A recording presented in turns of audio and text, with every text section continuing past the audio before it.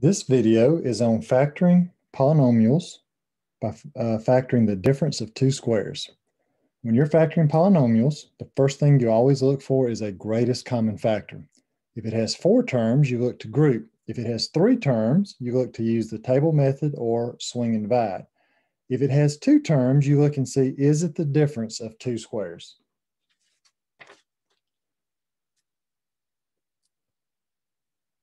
If you have two perfect squares, m squared is a perfect square because m times m is m squared. 64 is a perfect square because 8 times 8 is 64.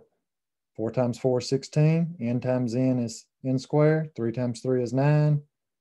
n times n is n squared. 11 times 11 is 121, and so on. All of these are perfect squares. So your formula for perfect squares, you can look at it either way. But it's always going to be two binomials One's going to be a plus, one's going to be a minus. So when you see a binomial that's a difference, check and see, are they perfect squares? If they are, you can go ahead and write a plus in one binomial and a minus in the other binomial. The first term is going to go on the left side. The square root of m squared is m. And on the right side of the minus sign, we'll go on the right side of your plus and your minus sign in the binomial. The square root of 64 is 8. And that's my answer, m plus 8 times m minus 8. If I FOIL out these two binomials and simplify it, I would end up back with m squared minus 64.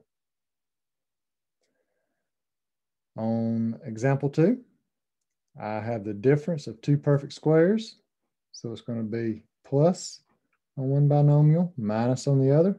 The square root of 16 is 4. The square root of n squared is n. So the square root of 16n squared is 4n. 4n. The square root of 9n squared is 3n. 3n. So my answer is 4n plus 3n times 4n minus 3n. If I multiply these two binomials together, I would end up with this question. One more example. Here I have the difference of two squares. I'm going to do a plus and a minus. Square root of 121 is 11. That goes on the left side of both. The square root of 4n squared is 2n. That goes on the right side of both. You try number one.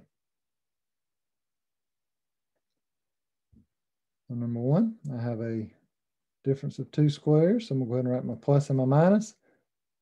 81 is a perfect square. Square root of 81 is 9, so that goes on the left side of both. Square root of n squared is n. That goes on the right side of both. Let me work one out. 9 times 9 is 81. 9 times negative n is negative 9n. n times 9 is positive 9n. n times negative n is negative n squared. Negative 9 plus positive 9 cancels out, and you're left with 81 minus n squared.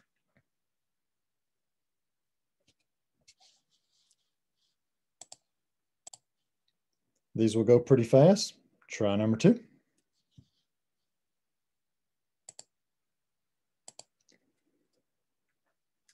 This is a difference of two squares. So one binomial is going to be plus, the other is going to be minus. The square root of 2m squared is 2m. That goes on the left side of both. The square root of 16n squared is 4n. That goes on the right side of both. Try number three. Number three, I write my plus and my minus. Square root of first term is 8n. Square root of second term is 1. 1 is a perfect square because 1 times 1 is 1. Try number 4.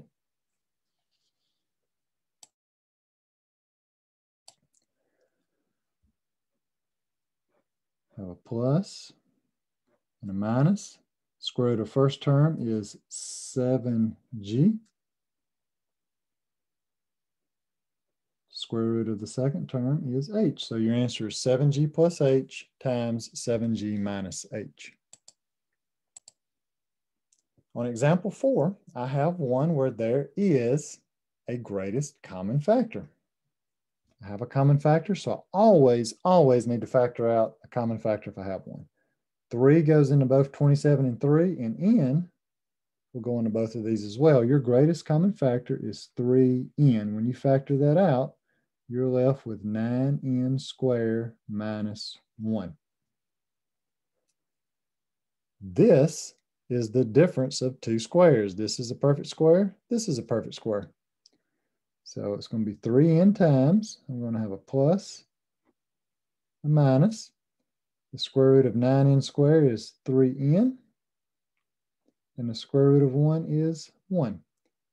So here's your answer. I had a common, greatest common factor I had to factor out first. So will number 1. Try number 1.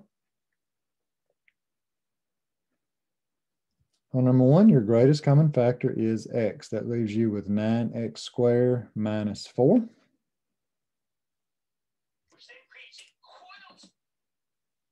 This is the difference of two squares.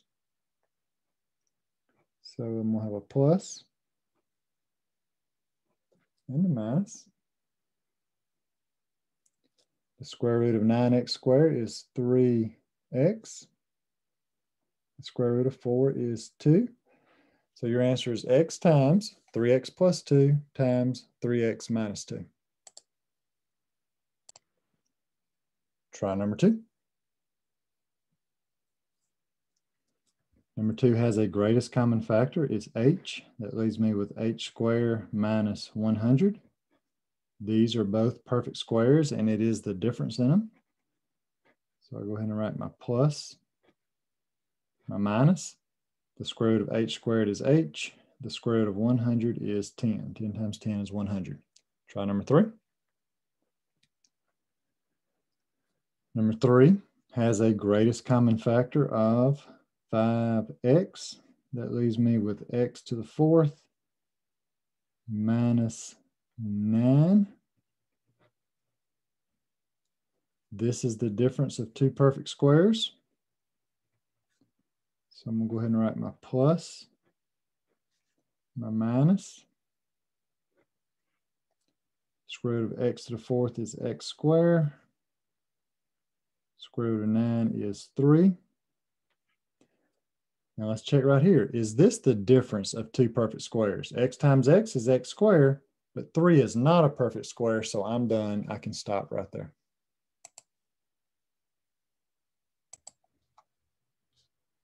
Try number four. Something unique will happen. Let's see if you figure it out. On number four, I do not have a greatest common factor. I do have the difference of two perfect squares. So I go ahead and start with my plus and my minus binomial. The square root of the first term is y squared. The square root of the second term is 1.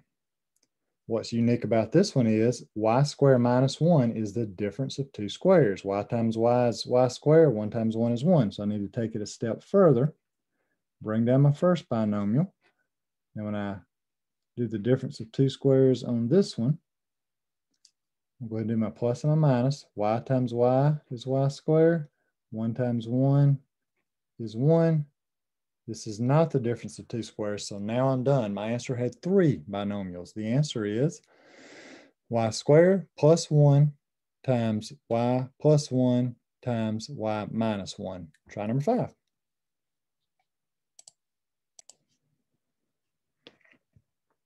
Number 5 has no greatest common factor. It is the difference of two squares. Square root of the first term is 4y. Square root of second term is 1.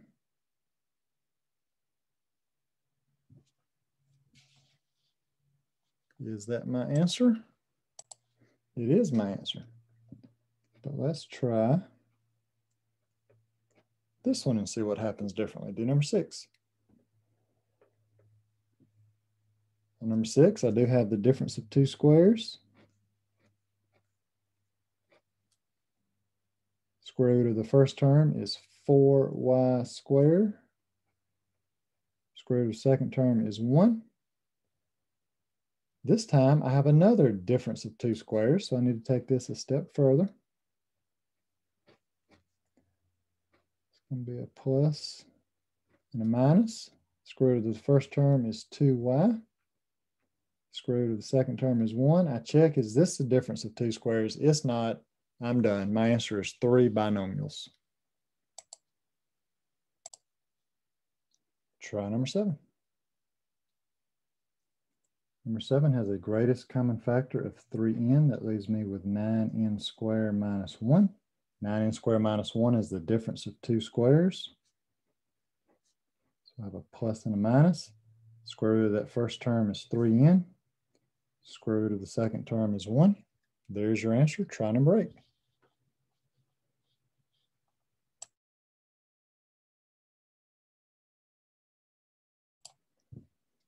Number eight is the difference of two. There is no greatest common factor. It is the difference of two squares.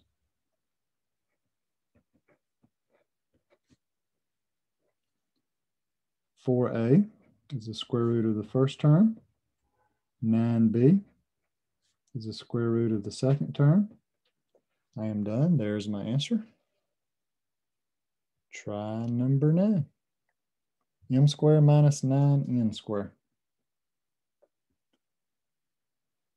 That is the difference of two squares. There's no greatest common factor. So I'm going to do my plus binomial and my minus. M goes on the left. 3n goes on the right. And your answer is m plus 3n times m minus 3n. Try number 10. Number 10 does have a common factor of 2. I'm going to factor it out. I'm left with c squared minus 16d squared. I now have the difference of two squares. So